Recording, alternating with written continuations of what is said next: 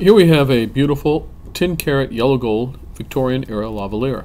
It is 1 and 3 eighths inches long from here all the way to here.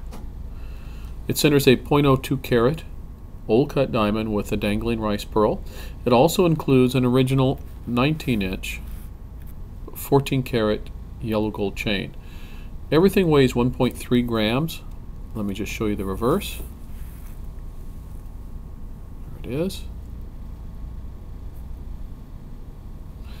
It is not marked 10 carat, but we have tested as 10 carat. As you know, some of these old pieces, especially uh, prior to the 20th century, uh, a lot of them were not hallmarked.